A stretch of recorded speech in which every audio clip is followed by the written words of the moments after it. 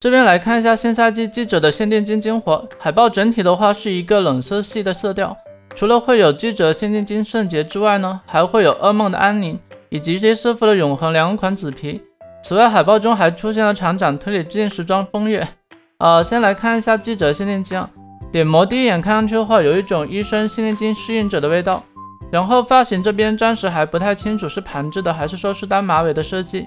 细看的话，可以发现发梢、脸部以及左手有与小说家限定金相似的冰霜设计。